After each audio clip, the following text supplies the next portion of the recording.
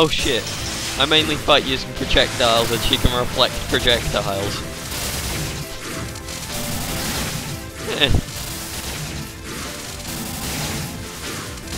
You have a sword. I have paper. I win.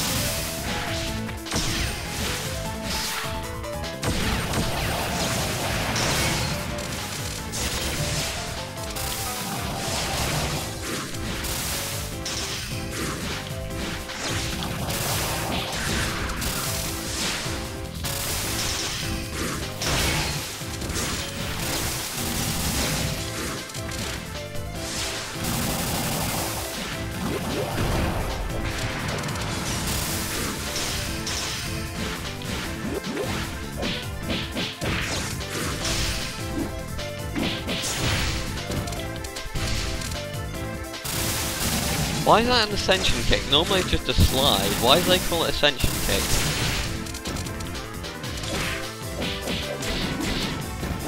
Yeah, I wouldn't know. I've never got the damn thing to connect normally. Does it? Oh, it did.